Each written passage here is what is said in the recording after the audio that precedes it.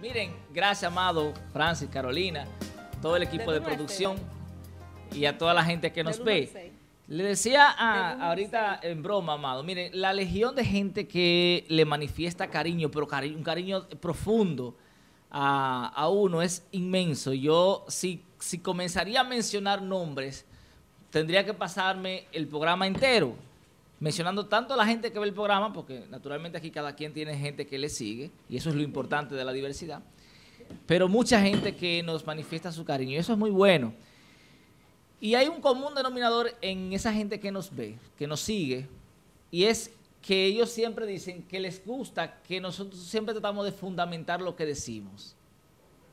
Y eso es lo importante, siempre hay que tratar de que lo que usted va a decir, fundamentarlo, argumentarlo, con pruebas, con elementos, y eso es, eso es bueno que la gente también lo valore. Miren, yo vengo de un campo, un campo que se llama El Cercado, eso es en San Francisco de Macorís, en la parte alta eh, de San Francisco, pero yo hice vida social en una comunidad que se llama El Aguacate, es decir, geográficamente yo pertenezco al Cercado, o pertenecía, pero socialmente yo me formé en la comunidad del Aguacate y es donde yo hice vida social. Esa comunidad, cuando yo bajé a la ciudad, no se conocía. Esto va a sonar un poquito incómodo para los aguacatenses, pero es la verdad. Esa comunidad no se conocía. Cuando yo comencé a trabajar en televisión, hace más de 15 años, yo escuchaba mencionar el aguacate, pero era de arenoso. Y yo decía, ¿por qué mi comunidad no se conoce? Yo siempre he sido muy inquieto. Y entonces dije, ¿qué es lo que hay que hacer? Se nota. Sí, ¿qué es lo que hay que hacer? Se nota. Me pregunté a mí mismo, siendo camarógrafo, eh, trabajaba en el 49, ¿qué es lo que hay que hacer para que mi comunidad se dé a conocer? Y entonces comencé a estudiar esa posibilidad.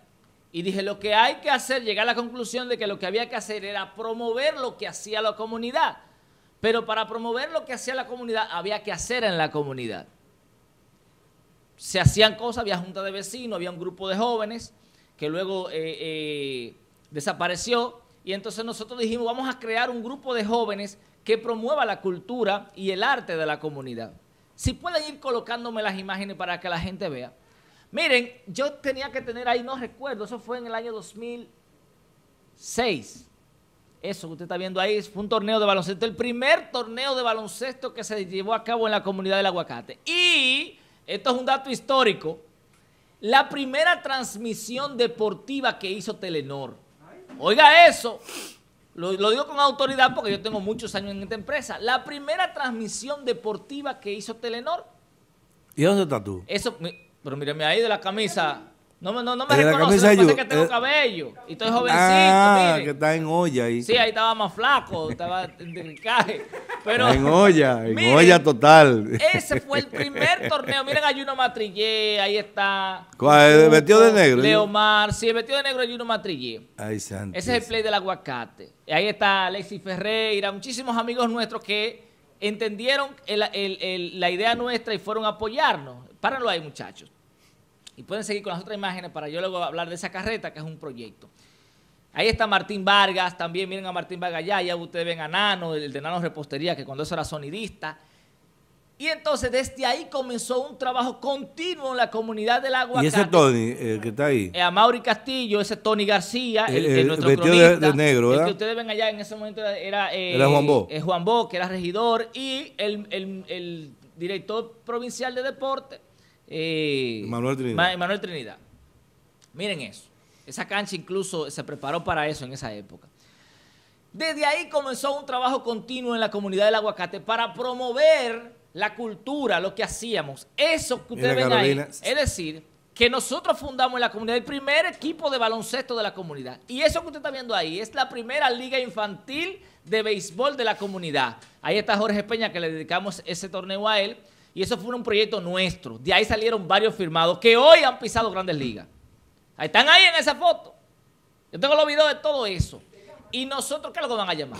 Sí, pues la gente cambia de una vez. Pero hay, no, hay, uno, hay uno que sí, que, se, siempre se mantiene siendo amigo de nosotros, otros no.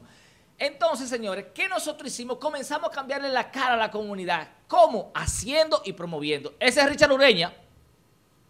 Mira qué casualidad. Ese es Richard Ureña que ustedes están viendo ahí. De los azulejos de Toronto. Hoy ha pisado tierra de grandes ligas. O sea, ese, ese que tú estás viendo ¿Y en qué año fue eso? Eso fue en el año 2008. Ese que tú estás viendo ahí pasó por nuestras manos. Mira ahí la liga, iniciando la primera liga infantil de la comunidad del aguacate, que hoy está dando fruto, gente millonaria en la comunidad. Porque hay, míralo ahí todito, yo te lo puedo mencionar uno por uno, eran 11. Y ahí hubo firma de ese grupo que tuve ahí en 1.400, eh, 1.4 millones de dólares. ¿Cuántos firmaron? Ahí, han firmado alrededor de 5 eh, eh, peloteros.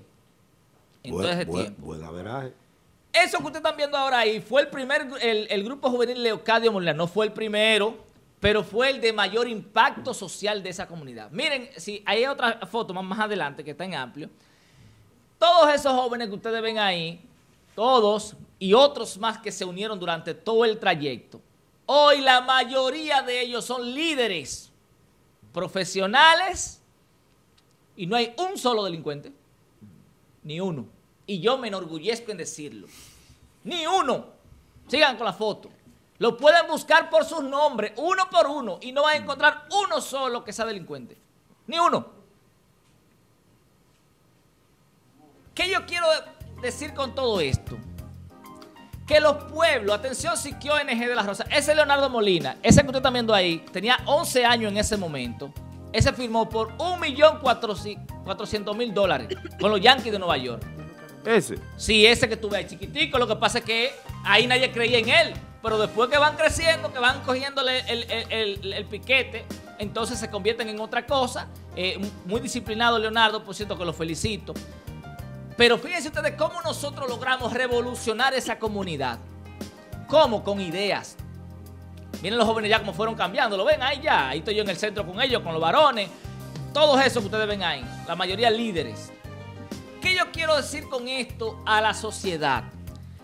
Que si el municipio, por ejemplo, vamos a tomar en cuenta San Francisco de Macorís, se mira hacia adentro y comienza a hacer y a promover y a, levantar líderes que guíen a su población hacia objetivo definido, se puede lograr promoverlo de manera positiva. La comunidad del aguacate se convirtió en varios años en una de las comunidades más productivas culturalmente y deportivamente hablando en varios años. ¿Saben por qué? Porque le estábamos dando seguimiento.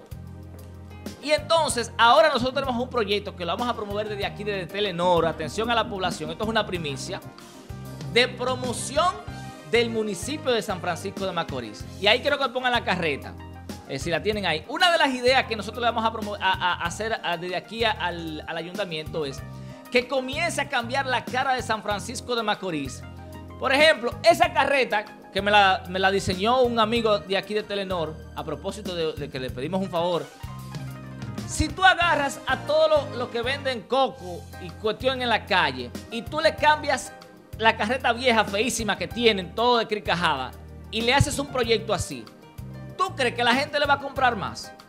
¿No te gustaría a ti pararte a beberte un agua de coco en una carreta limpia, organizadita como está esa? Higiénica.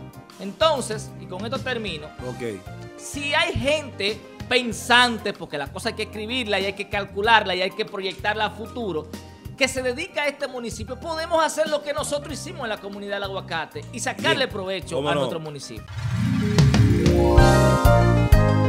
De mañana.